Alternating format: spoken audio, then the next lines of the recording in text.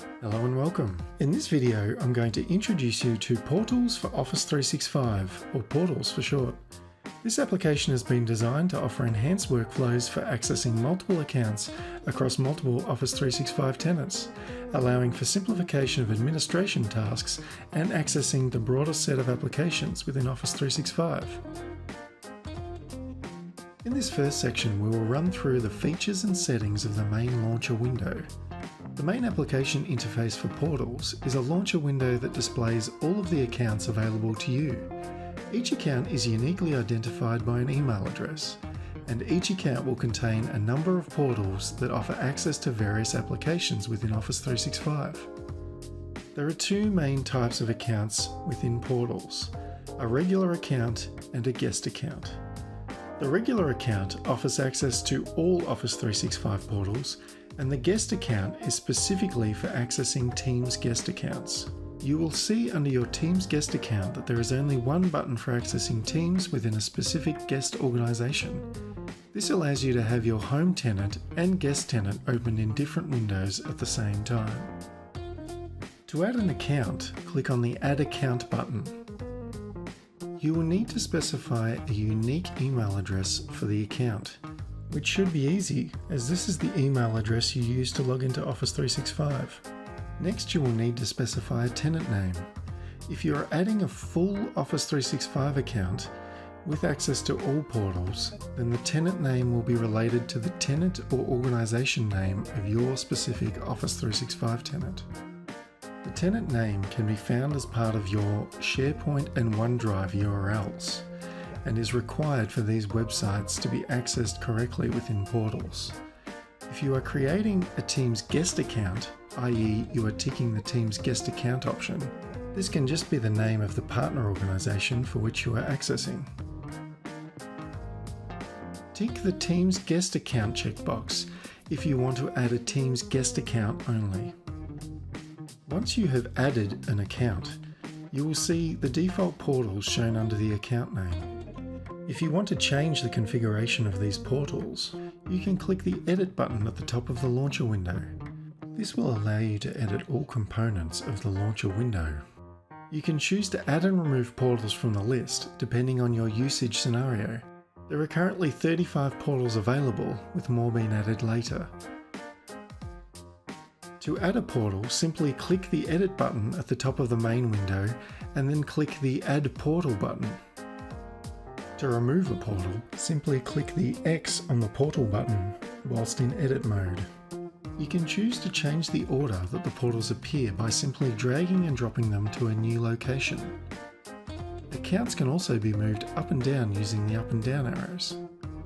The Account Preferences button shows you settings for each account. These include tenant name, toast settings for both messages and calling. If you no longer want an account, you can delete it by using the Delete Account button. Once you're finished moving and editing all of your accounts, you exit edit mode by clicking the Finish button. The main launcher window also has a Global Preferences button, which allows you to change global preferences within the application. Now that our accounts are all set up, Let's launch a portal and see how it works. I will open up the Teams portal for two separate users. John Woods and Bob Kelly are completely separate user accounts, and each in this case have to sign in via ADFS. Once signed in, the app gets separate sign-in tokens which it will store for each of the separate accounts. The application does not store any passwords directly and sign-in tokens are encrypted before being written to disk using a large randomized key and AES 256 encryption. You will see that I've successfully logged into two separate accounts at the same time. These users can now send text messages, take part in Teams conversations, conferences, and even receive and make PSTN calls. Toast windows will pop up when messages and calls are received, if you click the Toast window, then the window for that account will be displayed. Now that we have signed into Office 365 and have been issued access tokens, we can access any of the other portals for a user without needing to log in again. Let's open Outlook for John Woods and see how authentication is bypassed. In the launcher, you can see that John Woods also has a Teams guest account. We can log into that account at the same time as the home account by launching the Guest Teams portal. This account is running as part of a different session, so it will need to be logged in again. Once you have logged in, you can open the Partner Teams site at the same time as still running your home tenant in another window. The portal's browser window offers the following features. Back and forward navigation buttons, with right click to display browsing history, a downloads button which will display all downloads made by that window, a find text feature which offers full text search across any web page, a delete session cookies option which can be used in the case that you want to remove all session history for that account.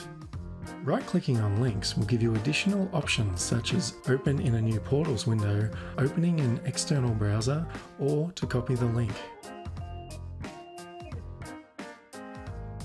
Thanks for watching this tour of portals for Office 365. I hope you found this video useful and enjoy using the app. If you haven't yet downloaded the app, go to tryportals.com. Thanks for watching and see you again next time.